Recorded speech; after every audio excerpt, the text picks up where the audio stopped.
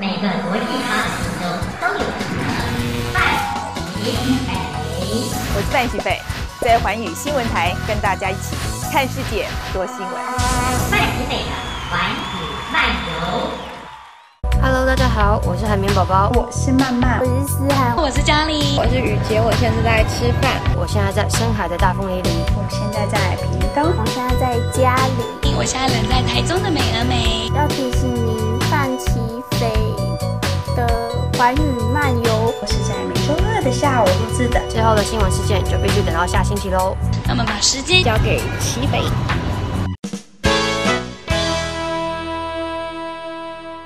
看今天范奇美的环宇漫游。今天我们来谈谈美国总统川普又卖了一批军售给台湾，我们要去放鞭炮了吗？俄罗斯有位女大生竟然对男性开腿乘客泼洒漂白水，开腿错了吗？马其顿因为跟马其顿省撞名被希腊排挤，我以后也要排挤日本，因为日本也有松山跟冈山。大家好，我是范奇斐。大家都知道，我们这个节目呢，最喜欢翻的牌子就是川贵人。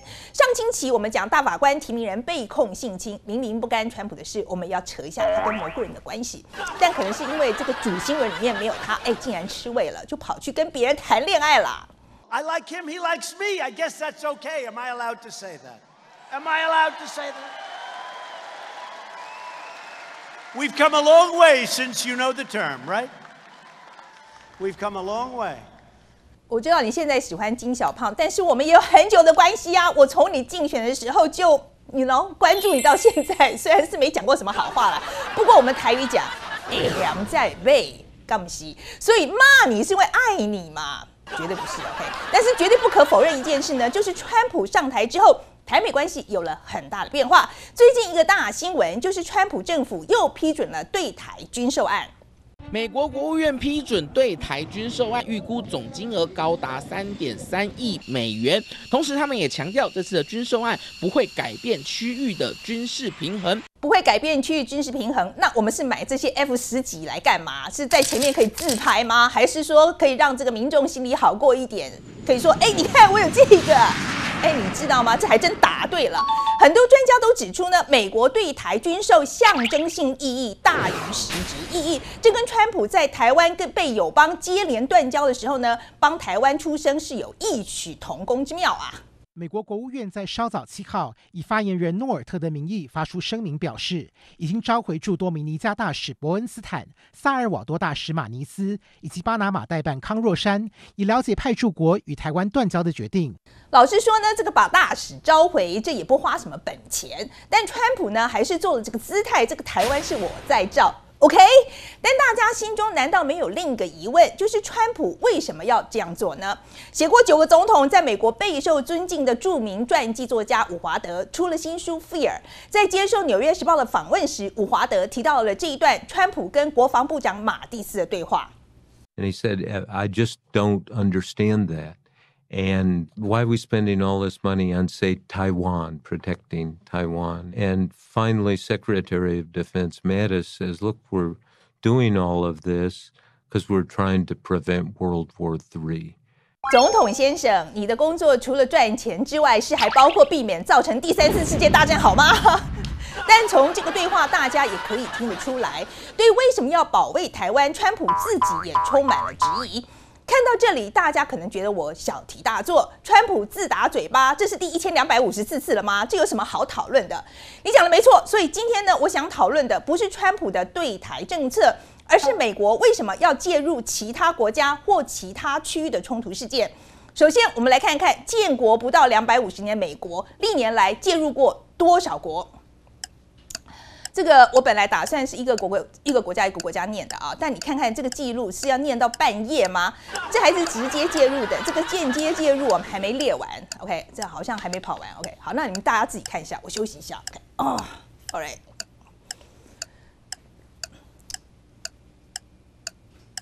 OK，好，跑完了是吧？OK OK，好。鸡婆不一定不好，老实说呢，我也是鸡婆那一种。隔壁家夫妻吵架大打出手，我想出去劝个架，让他们不要闹出人命，但是我老公把我拦住，说是人家夫妻的事，你又不懂，管什么管？你先去把这个狗大片清一清吧。结果我们夫妻俩自己真的在家里就先吵了一架。其实美国内部每一次有人要出去管闲事，夫妻都会先吵一架。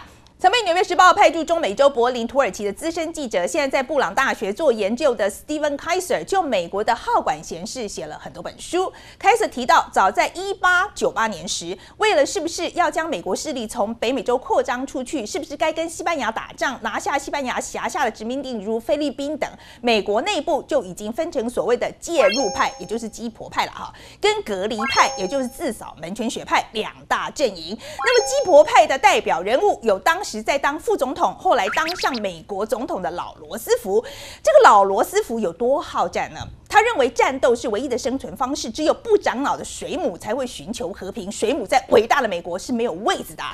他把儿子送到第一次世界大战的战场上，并期许他们呢，最好是能少只手或少只脚再回来。哇，这是不是太悍了？这不是用这个鸡婆能形容他，连鹰派都强度不足，连老鹰都不会希望自己的孩子残废吧？所以这要用什么来形容呢？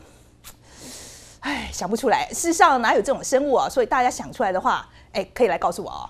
好，那另一边自扫门前雪派的这个代表人物，有著名的文学家马克·吐温及当时美国首富、钢铁大亨卡内基。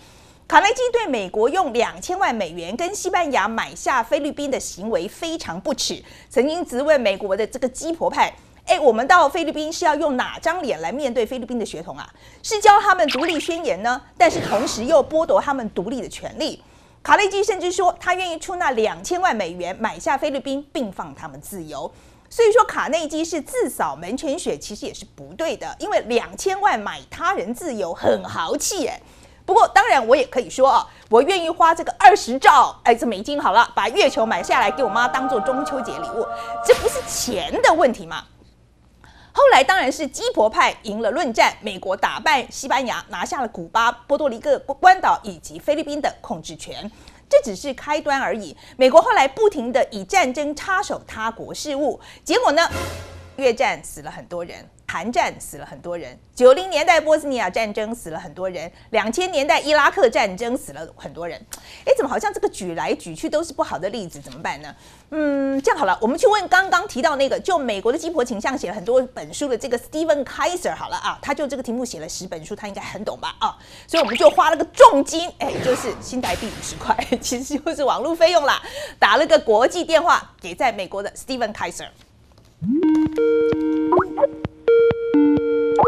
Hi, Stephen. How are you? This is Chi Fei. Uh, can you hear me okay? Sounds good. Okay, so Stephen, is there any good results that was produced by American intervention? I do think you can look back on uh, some interventions as having been successful because uh, there was something on offer in a previous era that's not on offer now, and that is after we intervene in your country and overthrow your government, we'll take you into the United States. So, for example, uh, we intervened in Hawaii and quite brutally overthrew the monarchy there, and later on just seized Hawaii. But Hawaii then became part of the United States, and uh, it was able to at least uh, as long as you're not a native Hawaiian, uh, could say that uh, actually in the long run it produced a, a, beneficial and a stable and a prosperous society. Even Puerto Rico, which has had great trouble in its relations with the United States, might want to look around at the other countries in the neighborhood like Cuba, Dominican Republic, Haiti, and say maybe it wasn't so bad that we were taken under the wing of the United States so fully. 这个夏威夷模式听起来不错啊，这波多黎各模式是差一点。那上一次大风灾过后，川普爱救不救，不但乱丢这个救援物资，连死亡人数都要争，真是太不尊重人了。不过呢，比上不足，比下有余，哎，勉勉强强了。Okay, Stephen, I like to have the Hawaii model. But that's not on offer anymore. We don't we don't offer that to anyone. So all we're doing is telling them we want to get rid of the government you have because we don't like it and we don't stop to think about what comes next. We have this fantasy that uh, Switzerland would suddenly emerge in Iraq or in Libya as soon as we get rid of one or two bad people. And actually, the reality is we take down governments that we can actually deal with and we leave absolute ungoverned chaos, which is what we've been producing in much of the Middle East and North Africa in recent years. Well，搞了半天，我唯一能吃的这道菜，人家早就不做了。夏威夷跟波多黎各都是一八九八年并入美国的，最后一个成功的例子发生在一百多年前啊！这美国到底在干嘛？So Stephen, why does the United States like to intervene in foreign countries' affairs so much? Uh, the first thing that happens is that uh, a government in some foreign country starts to bother an important American interest or corporation. Um, and this corporation then goes and complains to Washington. That's the first step. Usually, if there's no trouble for American business, we don't even notice the country. We don't focus on that country. 所以一个国家没有市场的时候，美国就把你当空气就对了。Okay, so Stephen, what's the second stage? If a foreign government is bothering or harassing an American corporation that's important to our economy, that government must be our enemy. That government must be hostile to us. That government probably poses a geopolitical threat and could be in league with our enemies. And that's why we want to intervene. 哦，不跟你做生意就翻脸啊？怎么这么没有人情味？There must be something. The intervention was for humanitarian reasons sometimes.